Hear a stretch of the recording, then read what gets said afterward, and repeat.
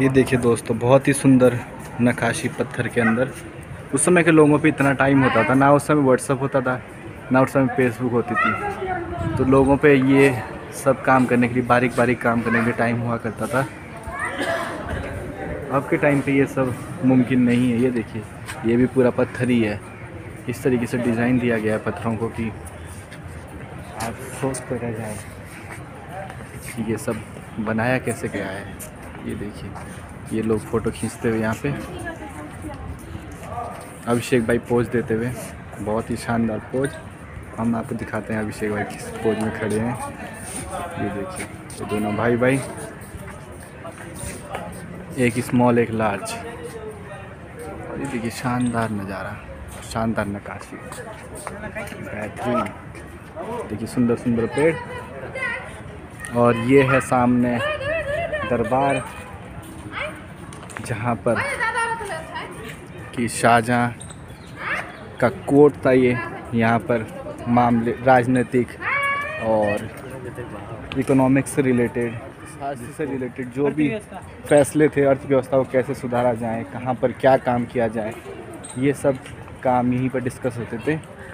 और उनके पास एक मयूर सिंहासन भी होता था। जो मैंने आपको थोड़ी देर पहले दिखाया, वो ऐसे ही एक जस्ट जोक था। आप उसको ज़्यादा सीरियस ना लें। मयूर सिंहासन काफ़ी सुंदर है और हम जैसे लोग शायद उसको कभी देख भी ना पाए, जो कि हकीकत है। क्योंकि हम भारतीयों की आपसी जो रंजिशें हैं, या आपस में जलते भारतीय क्या पूरी दुनिया जलती है एक दूसरे से? ये चीज़ें हर जगह, ऐसा नहीं कि भारत में ही है। भारत को क्रिटिसाइज मत करो कि हाँ भारत ही बेकाश है देश है। हर जगह के लोग एक दूसरे से लड़ते झगड़ते हैं। और भारत के तो फिर भी बहुत प्यार से रहते हैं, अनेकता में एकता है। लेकिन और जगह बहुत ही बुरा हाल है। तो किन्हीं उन्हीं वजहों से इतनी लंबी स्टोरी तो हम आपको बता नहीं सकते। मयूर सिंहासन की वो फिर कभी बताएँगे। मयूर सिंहासन पहुँच चुका है इंग्लैंड।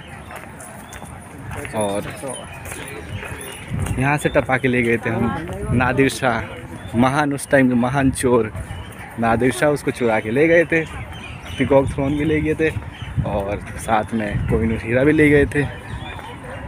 और मैं माफ़ी चाहूँगा, मैं इतिहासकार नहीं हूँ। अगर कुछ चीज़ें गलत बोल दूँ, ऊपर नीचे बोल दूँ तो आप कमेंट सेक्शन में ज़रूर बोल सकते हैं, लेकिन क्रिटिसाइज मत कीजिएगा।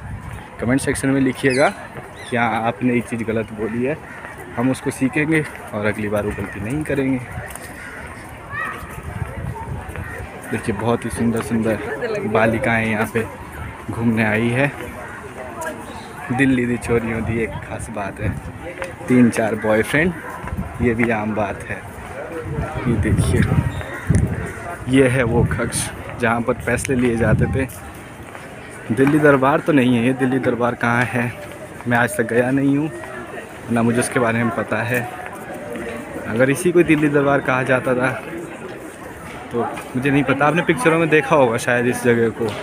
यहाँ पर शूटिंग की जाती है कभी कभार ये देखिए सामने, यहाँ बैठे कर, बैठा करते थे हमारे महान शासक जिन्होंने भारत में ताजमहल बनाया, लाल किला बनाया। इतनी मशहूर मशहूर इमारतें बनाई। शायद कुतुब मीनार तो इल्तुतमिश ने बनाई थी? उसमें शाहजहाँ कोई रोल नहीं था।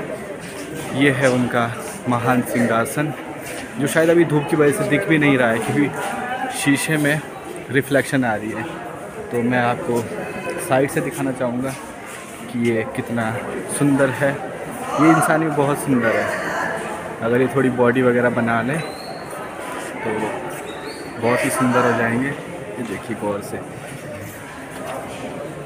जहाँ पना एक केस आया है। तो केस क्या है? बेरोज़गारी। भारत में बेरोज़गारी बहुत ज़्यादा हो चुकी है। बहुत ही बेरोज़गार लोग घूम रहे हैं। हम भी फ़िलहाल बेरोज़गार हैं। और ये देखिए अंग्रेज़ लोग। इन्हीं लोगों ने शासन किया था हमारे देश पे। यही तो ऐसे ही लोग थे वो जो आए थे। शासन करके चले गए। बहुत कुछ लूटा उन्होंने। लेकिन भारत में इतना कुछ है कि ऐसे अगर सौ देश और भी लूट के चले जाए तभी भारत को फ़र्क नहीं पड़ता। ये है यहाँ पर राजा बैठा करते थे और लोग यहाँ खड़े रहा करते थे कि महाराज को इतिहास में नाम दिया गया है। इतिहास में क्या उस समय नाम दिया जाता था? दीवाने।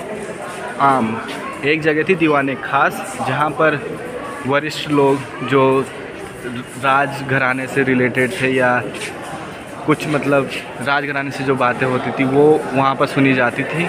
ये है दीवाने आम। यहाँ पर लोग खड़े होते थे, जनता खड़ी होती थी, जिस पे भी कोई, जिनकी भी कोई समस्या है या कोई प्रॉब्लम्स होती थी, जो भी उनका कुछ रहता था या आपसे लड़ाई वगैरह तो महाराज सामने होते थे, वो उनकी दुआई सुनते थे, उनकी गुहारें सुनते थे और फिर अपना निर्णय, जहाँ भी उन्हें लगता था कि ये सही है, वो निर्णय दिया करते थे। दीवाने आम है और दीवाने खास कहाँ पर है, अगर मुझे मिलता है तो मैं ज़रूर दिखाऊँगा।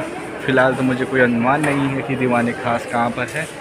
और ये देखिए ऊपर, ये उस ज़माने में भी एग्जॉस्ट लगाया जाता था। पता नहीं ये क्यों बनाया गया है, हवा के लिए या किस चीज़ के लिए बनाया गया है, लेकिन जहाँ तक मुझे लगता है ये एग्जॉस्ट ही है। ये बहुत ही सुंदर इमारत है, इसके पिलर्स देखिए, ये स्तंभ, जो आज तो क्या उम्मीद करते हैं कि आज से 500 साल बाद भी ऐसा ही दिखेगा।